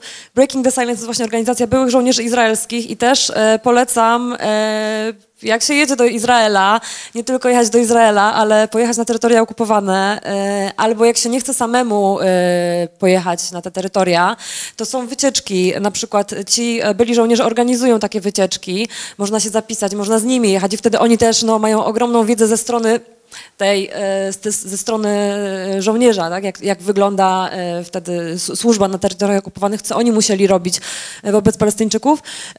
Ocza o to, to jest strona ONZ-owska, biura humanitarnego, które działa na terytoriach palestyńskich i tam są wszystkie mapy, raporty, informacje z multum. Who Profits to jest bardzo ciekawa organizacja, która zajmuje się monitorowaniem zaangażowania firm w budowę está uh, izraelskich osiedli, ale też w ogóle w, w całą strukturę okupacyjną. To są na przykład firmy takie jak, nie wiem, firma G4S, na pewno wszyscy, może niektórzy kojarzą tą firmę, to jest firma taka ochroniarska, która bardzo często jej logo znajduje się nawet na sklepach, czy ona swego czasu Parlament Europejski e, ochraniała, ale już to się zakończyło. E, I ta firma dostarcza urządzenia do checkpointów.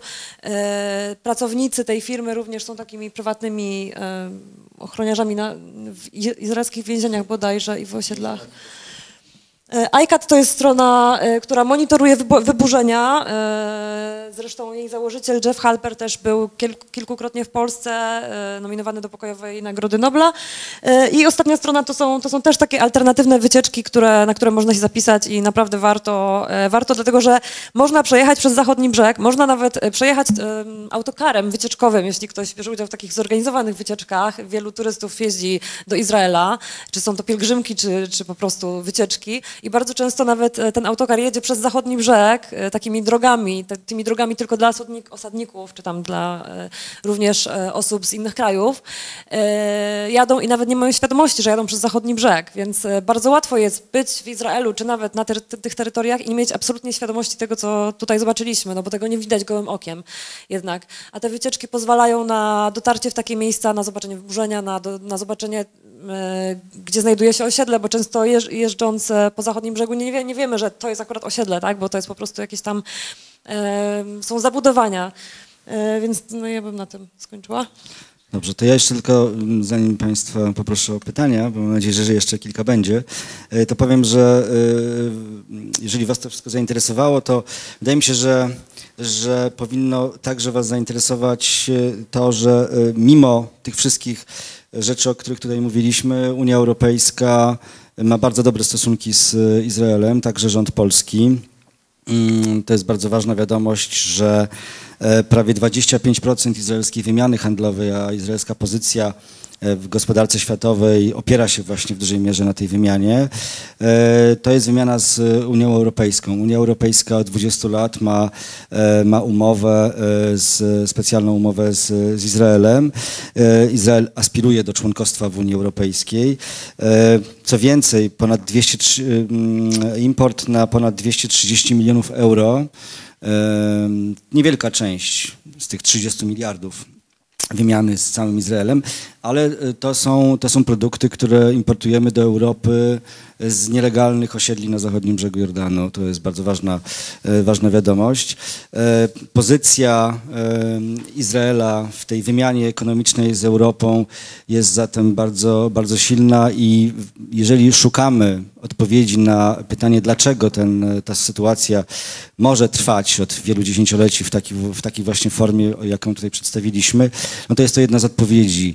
Y, społeczność międzynarodowa, takie organizacje jak Unia Europejska, które niosą na sztandarach prawa człowieka i demokrację wtedy, kiedy trzeba innych pouczać, same legitymizują e, politykę izraelską, nawet jeśli, e, jeśli Federica Mogherini, szefowa dyplomacji europejskiej, jest w stanie e, wyartykułować bardzo taką zasadniczą krytykę izraelskiej polityki okupacyjnej, to w praktyce działania Unii Europejskiej zaprzeczają wiarygodności takich, takich sformułowań. Także to jest coś, co e, jest po naszej stronie, znaczy po stronie społeczeństwa obywatelskiego, po stronie organizacji oddolnych, które w takiej sytuacji e, muszą po prostu wywierać e, nacisk na ośrodki władzy i te krajowe, i te europejskie, żeby po prostu prowadziły politykę zgodną z pewnymi zasadami, które są wypisane na sztandarach europejskich.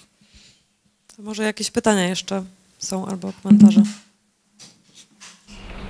Ja mam takie pytanie z kategorii głupich oczywistych, mianowicie o wpływ e, wojny w Syrii na sytuację Palestyny i Palestyńczyków. E, czy jakieś organizacje, by Państwo rozmawiali tam trzy tygodnie temu, zdaje się, z Panią Profesor Sasną o wojnie w Syrii, e, czy jakieś organizacje z tych istotniejszych mają jakieś plany z tych uczestniczących w wojnie w Syrii, mają jakiś program dla Palestyńczyków, zamierzają nie wiem, przenieść się do Izraela, już zrobił porządek u siebie, czy też wręcz przeciwnie, e, lokalni gracze jakby taka propos zanikania jeszcze. Lokalni gracze stwierdzają, że można na Palestyńczyków, czy należy wręcz machnąć ręką, bo w regionie mają aktualnie o wiele istotniejsze problemy.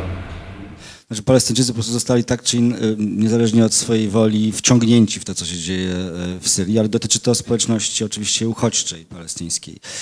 No sytuacja wyglądała, to jest bardzo skomplikowana, bo część Palestyńczyków y, w 2011 roku wzięło udział w tych protestach przeciwko reżimowi Asada, które potem się przekształciły w opór zbrojny. W wyniku niesłychanie brutalnych represji, którym te protesty zostały poddane, pokojowe początkowo. E, później, w trakcie już e, e, konfliktu zbrojnego, kiedy, tak jak to zwykle bywa w takich konfliktach wewnętrznych, linie frontu co jakiś czas się zmieniają, zmieniają się koalicje. Palestyńczycy znaleźli się po obydwu stronach. Znaczy są i po stronie, po stronie tych, którzy walczą przeciwko Asadowi i po stronie tych, którzy, którzy są, e, wspierają Asada. Są różne, no jest oczywiste, że po kilkudziesięciu latach funkcjonowania obozów uchodźców, teraz już dzielnic całych palestyńskich w Damaszku na przykład, i względnie autonomicznej działalności politycznej w tych, w tych obozach. No, władze, dyktatura e, syryjska chciała mieć także narzędzia wpływu na Palestyńczyków, chciała ich, e, ich instrumentalizować i wykorzystywać i robiła to. Są takie organizacje, e, które są z nazwy palestyńskie, e, w istocie mają charakter po prostu takich przybudówek e, reżimowych. No i tutaj i one, one, one część tej społeczności wykorzystywały dla, do swoich celów, no ale przygniatająca większość Palestyńczyków padła ofiarą tej wojny. E, z ponad 500 tysięcy, znaczna większość już znalazła się e, na terenie Libanu i są to tacy, to jest nowa fala uchodźców, oni są w dramatycznym położeniu zupełnie, ponieważ Liban odmawia tworzenia obozów dla uchodźców na swoim terytorium. Dotyczy to wszystkich Syryjczyków, także palestyńskich Syryjczyków, nazwijmy ich w ten sposób. E, I no, zmuszając tym samym uchodźców do tego, żeby wynajmowali różnego rodzaju obiekty mieszkalne lub, lub nie, niemieszkalne, ale adaptowane do, do, do mieszkania. Ludzie mieszkają w, w, garażach, w jakichś starych sklepach opuszczonych, ruderach i tak dalej. Także ta, tak wygląda sytuacja Palestyńczyków w Syrii dzisiaj. Natomiast jeśli pan mówi o to, czy co, która z stron konfliktu e, syryjskiego ma do zaoferowania Palestyńczykom, to ja myślę, że te strony dzisiaj same dokładnie nie wiedzą, co mają do zaoferowania Syryjczykom. I już do tego doszło, że że, że, że, że, ten poziom skomplikowania jest tak wielki, że mamy do czynienia z kilkoma obszarami, na których istnieje jakaś władza alternatywna wobec Asada. Głównie na północy, są niewielkie obszary na północ od Aleppo, Marat al-Numan, to jest taka miejscowość największa chyba dzisiaj znajdująca się w rękach opozycji. I to jest rzeczywiście opozycja cywilna, która nie ma związku z żadną z tych frakcji zbrojnych, które między sobą walczą, walczą z Asadem. Właściwie każdy walczy z każdym dzisiaj. Więc tu, tu można mówić o, o, o, jakimś projekcie społecznym, alternatywnym wobec dyktatury, tylko że on, on jest lokalny. Tutaj nie ma, nie ma organizacji, która miałaby jakiś pomysł na to, jak zbudujemy stosunki w Syrii i stosunki Syrii z sąsiadami y, w przyszłości.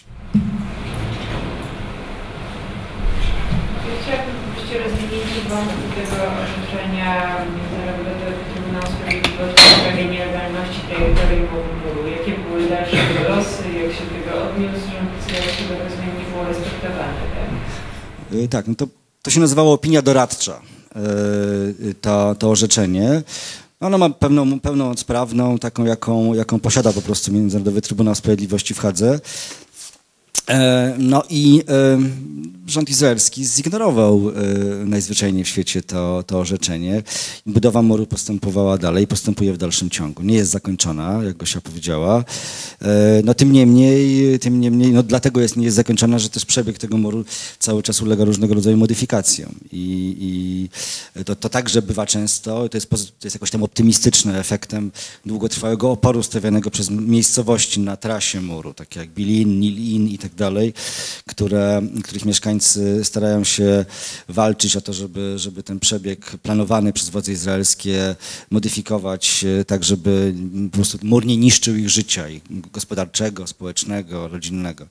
Także Także e, tak to wygląda. No, tym niemniej Izrael oczywiście nie, nie, nie musi się specjalnie przejmować opiniami takich e, instytucji jak Międzynarodowy Trybunał Sprawiedliwości w Hadze, dopóki ma wsparcie Stanów Zjednoczonych. To jest ważne, bo e, trzeba o tym pamiętać, że Izrael co roku otrzymuje wsparcie mm, finansowe ze strony Stanów Zjednoczonych na sumę 3 miliardów e, dolarów. To tak jakby Polska, biorąc pod uwagę liczbę ludności, E, dostawała 18 miliardów. Myśmy dostawali 18 miliardów dolarów od Amerykanów, to nie mielibyśmy żadnych problemów z, na przykład z długiem publicznym czy, czy, czy kwestią deficytu budżetowego.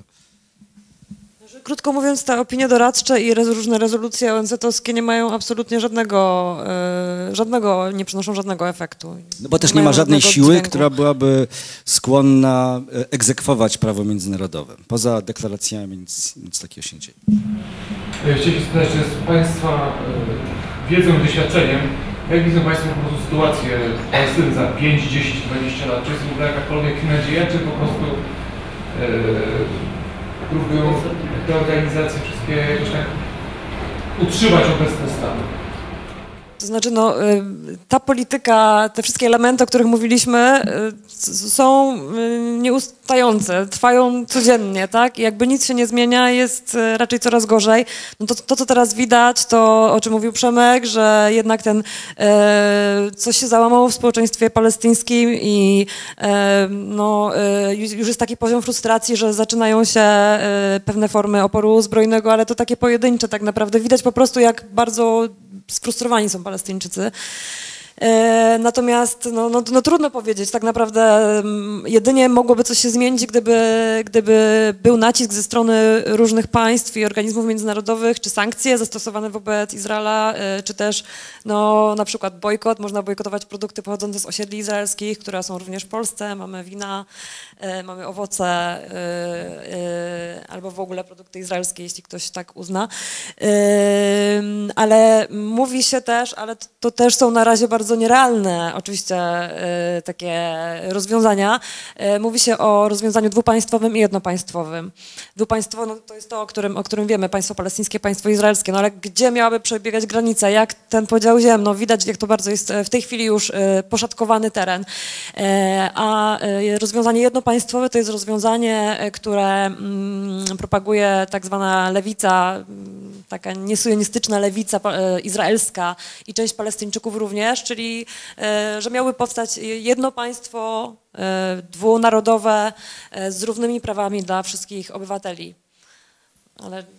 Z punktu widzenia tego, co się dzieje od kilkudziesięciu lat w Palestynie i tego stanu, o którym, o którym tutaj mówiliśmy i który było widać na tych mapach, to rzeczywiście jest jedyna opcja realistyczna dzisiaj bo trudno sobie wyobrazić ewakuację y, pół miliona uzbrojonych w broń maszynową, granatniki i sfanatyzowanych bardzo często i zorganizowanych dobrze zresztą zbrojnie też i politycznie osadników izraelskich.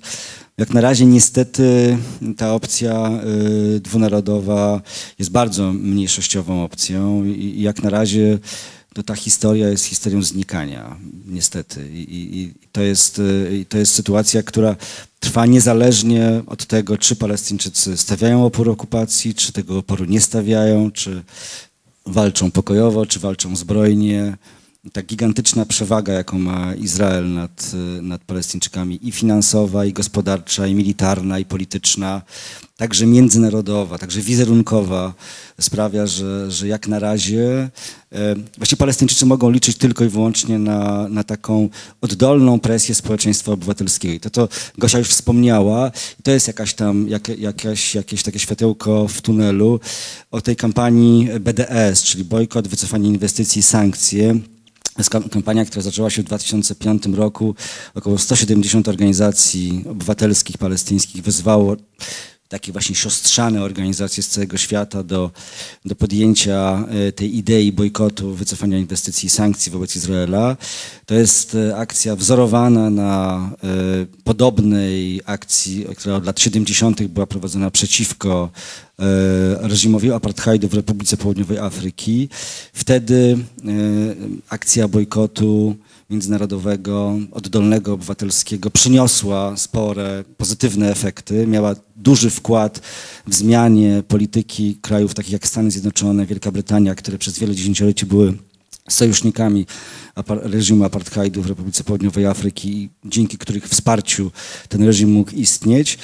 W wypadku Izraela wydaje się, że taka kampania mogłaby być nawet bardziej skuteczna, dlatego że Izrael jest po prostu mniejszym krajem, jest bardziej uzależniony od rynków międzynarodowych, a zatem, a zatem odwołanie się do takiego narzędzia poza retoryką bardzo słuszną i szlachetną, do, którego, do której się już odwołują e, klasy polityczne na, na, na świecie, e, przewodniczący ONZ-u i tak dalej, i tak dalej, no, mogłoby sprawić, że, że te, te bardzo słuszne krytyki polityki izraelskiej mogłyby zyskać jakąś także siłę. I nie byłaby to siła zbrojna, E, no ale właśnie byłby to nacisk pokojowy, który byłby w stanie być może wpłynąć na, na, na, na, na taką zasadniczą korektę polityki izraelskiej. No już widać, że ten, e, ta kampania bojkotu e, gdzieś tam bardzo uwiera Izrael. Izrael jednak realnie się jej boi, bo czyni takie, władze izraelskie czynią takie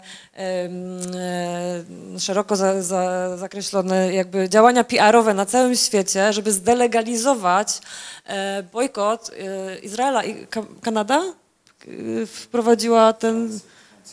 Kanada nie wprowadziła zakazu bojkotu, zdelegalizowała Francja. Zdelegalizowała tak, że działania, bojkotowanie Izraela jest działaniem nielegalnym.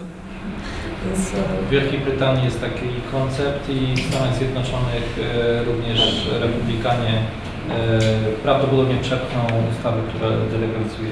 Tak, warto też pamiętać, że, że władze izraelskie kilka lat temu uznały, że organizacje praw człowieka i ten dyskurs e, praw człowieka e, jako całość jest trzecim strategicznym zagrożeniem dla istnienia państwa Izrael. Po Iranie, i po rakietach Hezbollahu i Hamasu. I rzeczywiście od kilku lat e, rząd izraelski, e, rząd Benjamina Netanyahu, który ciągle się utrzymuje u władzy, e, od kiedy zszedł ze sceny Ariel Sharon, praktycznie, mm, stara się przede wszystkim delegalizować działanie organizacji nawołujących do bojkotu Izraela, a mając w samym Izraelu I oni dzisiaj są w gruncie rzeczy na, na celowniku e, bezpieki izraelskiej. I rzeczywiście oni także, e, działacze izraelscy, którzy mm, są za BDS-em, no, wymagają naszej jakiejś solidarności, bo, bo, bo, bo represje wobec nich są bardzo silne. A Państwo nie mieli żadnych problemów z jakiejś represji ze strony właśnie izraelskiej? Czy Państwo korzystali, czy Państwo korzystali to głos z tego w Tel Awiwie, czy przez nawet tak to może ja powiem, bo ja byłem w 2013, pod koniec 2013 w Hebronie również, e, też z APPI. Um, ja osobiście spotkałem chyba na, najbardziej zwariowaną osadniczkę e, na całym zachodnim brzegu, Anat Cohen. Można by ją wygooglować pani tak miała około 80 e, spraw założonych o, o napaści na, na, właśnie wolontariuszy i obserwatorów praw człowieka. Oczywiście żadna nie zakończyła się e, żadnym wyrokiem skazującym, nie było e, niby żadnych dowodów, mimo na przykład ewidentnie nagranego ataku prze, przez właśnie tą panią na, na, na obserwatorów praw, praw człowieka. Ja miałem taką, to była po prostu abstrakcyjna sytuacja. Szliśmy wieczorem, wracaliśmy do domu. Oczywiście dwóch Palestyńczyków przez żołnierzy zostało zatrzymanych, e, zaaresztowanych i ta pani po prostu stanęła przede mną. Centymetr przede mną nie dała mi przejść. Jak chciałem ją ominąć z prawej, to ona się przesuwała w tą stronę. Jak z lewej, to się przesuwała w lewą stronę. I nagle e, żołnierz po hebrajsku zaczął na mnie krzyczeć, gdzie świetnie mówił po angielsku, bo, bo tam się zna tych żołnierzy. Oni nas znają, e, my znamy ich, bo, bo spędzamy na, na, na tych ulicach e, większość dnia. No jak po hebrajsku zaczął krzyczeć, ja oczywiście nie wiedziałem o co chodzi, to przeszedł na angielski, dlaczego nie dajesz e, jej przejść? I nagle podjechały trzy, jeep, trzy jeepki, 15 żołnierzy, zabrali mi paszport, prawie mnie aresztowali, tylko na szczęście dwie, dwie koleżanki zaczęły wszystko nagrywać, było nagrane, jak ona Trzeba e, przy, jeszcze dodać, to był e, szabat, tak? Ona wracała z synagogi, miała świętą księgę w ręku i tą świętą księgą moją koleżankę akurat trzymała aparat i w ten aparat uderzyła. Mieliśmy to na filmie, więc obeszło się bez, bez dalszych konsekwencji, ale pani z uśmiechem i, i w super nastroju poszła sobie do domu. I tak wygląda codzienność w Hebronie. Nie tylko w Hebronie. E, też na moich oczach e, wolontariusz z ASM-u. Oni są takimi bardzo aktywistami i już tak na linii działają, ale e, na moich oczach osadnik przebił mu rękę ogrodzeniem. Oczywiście znowu przyjechała policja. Policja poszła najpierw do osadników, później do żołnierzy, a później zaaresztowali go i dostał dwa dni na... Nie, nie, nie, nie. mówimy, mówimy o, o e, terytoriach, gdzie jak, jak, są osadnicy, to, to, to jest jurysdykcja izraelska. Tam Więc... nie ma wstępu palestyńska policja. Tak. W ogóle, czyli Palestyńczyków, y, którzy tam mieszkają, nie chroni absolutnie y, żadna instancja. Dlatego Jeszcze... wolontariusze są tak istotni i w ogóle organizacje takie jak, nie wiem, Międzynarodowy Czerwony Krzyż czy izraelskie organizacje praw człowieka są tak, tak ważne dla, dla tych terenów. Jeszcze dodam, bo e, no niestety pod koniec zeszłego roku nasz wspólny znajomy, Haszem, e, tak. zmarł na tak serca, miała tak serca i po prostu na checkpoincie zatrzymali karetkę, nie, do, nie dali dojechać karet, e, karetce, chyba 40 czy 50 minut stała karetka na checkpoincie. Tak, tak. A, a to była jedna z ikon właśnie takiego pokojowego oporu. Tak, to była osoba, która e, mieszka w takiej części Hebronu właśnie otoczonej e, tymi domami, osiedlami e, izraelskich osadników i on e, prowadzi takie działania, nie wiem, można powiedzieć edukacyjne. On zaprasza do swojego domu bardzo biednego e, Izraelczyków, takich, którzy chcą przyjechać z Izraela i dowiedzieć się rzeczywiście, jak wygląda sytuacja na terytoriach okupowanych i on ich przyjmuje do domu i, i mniej więcej mówi, jak wygląda jego życie. On, on mieszka, nie wiem, 15 tuż, metrów, czy tam nie wiem, ile metrów od osiedla, czyli budynku, takich e, najbardziej... Tuż nad nim są. E, mhm. Jeszcze trzeba dodać, że ci Izraelczycy, którzy tam przyjeżdżają, robią to nielegalnie, bo Izraelczycy nie mają wstępu do e, strefy A. To znaczy, generalnie do niego on jest w strefie tej H2, czyli to jest pod pełną jurysdykcją izraelską, ale do jego, do jego domu e, nie, nie, nie ma wstępu tak naprawdę przez większość czasu to to jest y, decyzja żołnierza, który w tym momencie stoi, stoi na checkpoincie. On może powiedzieć, że nikt nie wchodzi i koniec. On sam do domu nie może wrócić na przykład. No to już teraz niestety nie żyje. No. A jaka jest siła przebicia y, rządu palestyńskiego? Bo wiem, że prezydent Abbas chyba rządzi od 6 lat w ogóle i nie zanosi się na wybory, nie mówi, prawda?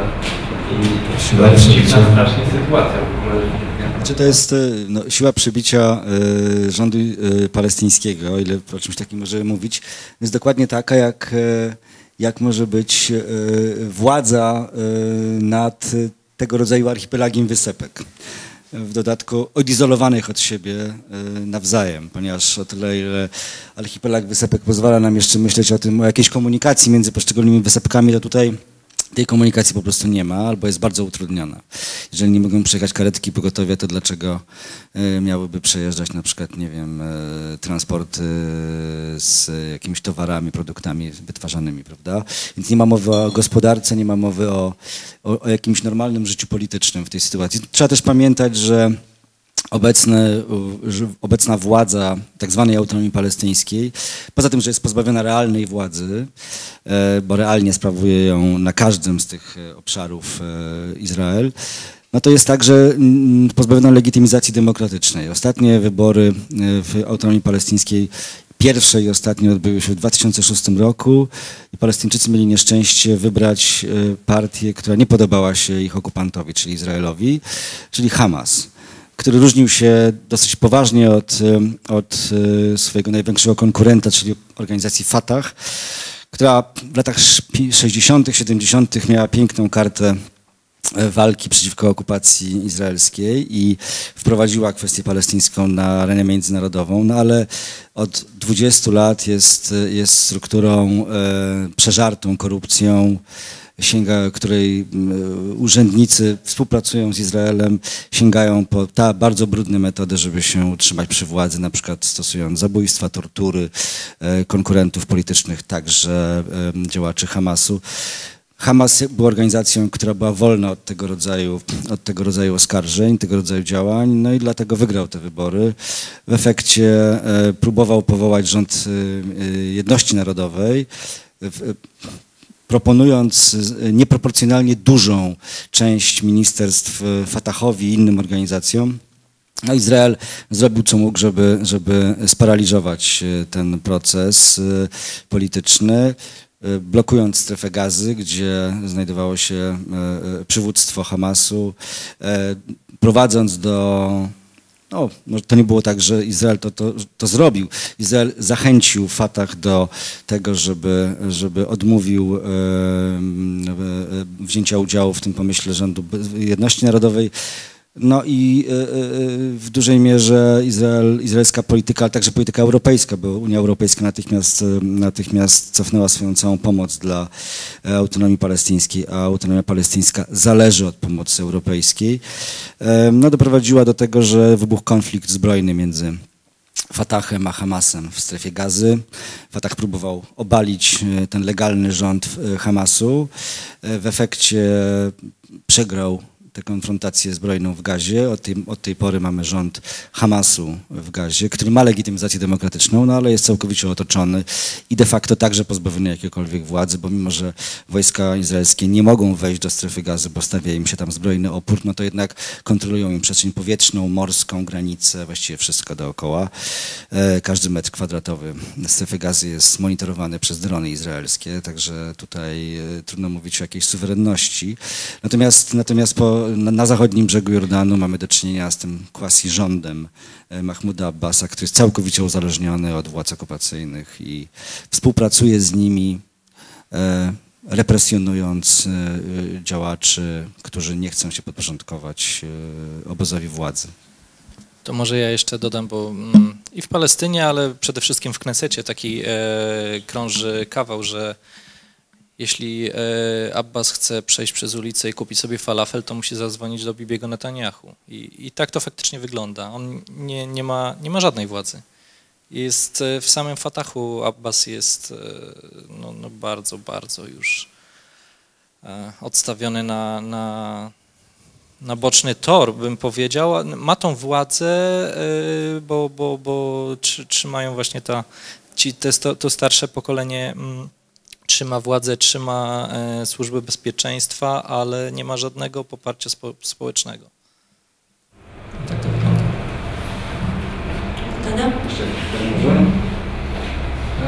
Pokazywali Państwo infografikę z ilością tam zgonów palestyńskich. Ale rozumiem, że to raczej było chyba liczba osób, które zostały przez zastrzelone, czy bezpośrednio zabite. A czy ktoś robi szacunki, ile osób mogłoby potencjalnie zginąć z powodu tego, że nie mają dostępu do właśnie jakby pomocy medycznej, leków, jedzenia, wody, jakiegokolwiek zaopatrzenia? Tak to wygląda? Czy były, były takie szacunki robione dla strefy gazy? E, mniej więcej, nie pamiętam teraz e, konkretnych liczb, bo to było kilka lat temu, e, w okolicach operacji Płynny Ołów, czyli 2009-2010 rok, po tej operacji. Pamiętam, że to była skala kilkuset osób, które w ciągu kilkunastu lat y, y, mogły paść ofiarą właśnie odcięcia od służby zdrowia. No jest tak, że, że w strefie gazy nie mamy praktycznie aparatury medycznej do leczenia nowotworów. Ponieważ Izrael uznaje, że części zamienne do tej aparatury mogą posłużyć do produkcji rakiet przeciwko, e, przeciwko Izraelowi, w związku z czym e, jest to jeden z bardzo wielu e, towarów objętych zakazem wwozu do strefy gazy. No efekt jest taki, że, że ludzie, którzy cierpią na nowotwory muszą się leczyć poza strefą gazy, a to oznacza, że muszą, ich rodziny, oni sami muszą przechodzić bardzo długą i męczącą procedurę która pozwoliłaby im na dostęp do izraelskiej służby zdrowia. Nie wszyscy są w stanie do żyć do tego momentu, kiedy uzyskują, taką zgodę. Nie wszyscy w ogóle są w stanie uzyskać taką zgodę i to są jakby głównie te osoby, e, które są liczone jako ofiary braku dostępu do służby zdrowia. No takie właśnie sytuacje, o których mówił Dominik tutaj, że ktoś y, ma zawał serca i nie dojeżdża, nie dojeżdża karetka pogotowia, to jest także dosyć powszechne. Jest sporo porodów na, na checkpointach, jest, jest sporo przypadków, kiedy kobiety umierają w wyniku takiego porodu, który jest przeprowadzony w złych warunkach właśnie na, na, na tylko chciałam powiedzieć, że tego typu dane, o które Pan pyta, e, wszystkie można znaleźć na tej stronie. To jest właśnie strona e, ONZ-owskiej Agendy do Spraw Koordynacji Kwestii Humanitarnych. I na przykład te wszystkie raporty dotyczące gazy, które są albo przygotowane dla okresu no wiem, rocznego, dla miesiąca, dla ostatniego tygodnia, jest po prostu multum takich raportów i tam bardzo często jest, jest bardzo dużo danych liczbowych, na przykład ile e, procent ludności nie ma dostępu do y, zdatnej wody, zdatnej do picia, y, no, tego typu dane, których no, nie mam w tej chwili pod ręką, ale wszystko tam można znaleźć, to o co pan pyta. Czy jeszcze coś? Powiem tylko jeszcze, e, bo e, któryś z panów powiedział, że może zadaje głupie pytanie, e, to od razu przyszło mi do głowy to, że po pierwsze, że nie ma głupich pytań, to tak naprawdę jakby poziom zaawansowania tych wszystkich informacji, na, których, na którym się znajdujemy w tej chwili jest naprawdę wysoki, bo nasz program EPPI też organizuje takie akcje lobbyingowe w Parlamencie Europejskim i część wolontariuszy tam jeździ i rozmawia z europosłami, e, również takimi, którzy pracują w ramach takich komisji e, takiej do spraw dwustronnych palestyńsko-izraelskich. I ci posłowie, którzy niby są zaangażowani w jakieś rozmowy na temat konfliktu izraelsko-palestyńskiego, naprawdę ja byłam zszokowana, jak nie mają absolutnie elementarnej wiedzy. Jakby nie wiedzą nic, co tutaj e, widzieliśmy, e, nie mają absolutnie żadnej wiedzy, więc, więc nie ma głupich pytań i tak naprawdę no, szkoda, że tego typu informacje nie przedostają się do, do mediów głównego nurtu, bo tak naprawdę wszystkie informacje, które gdzieś tam trafiają, to są takie wyrywki rzeczywistości i rzeczywiście jak się nie ma tego całego kontekstu, tego całego tła, to rzeczywiście trudno jest o, o, to ocenić, prawda? Zgadzam się całkowicie z przedmówczynią. I co, dziękuję Państwu bardzo. Jeśli nie macie żadnych pytań więcej.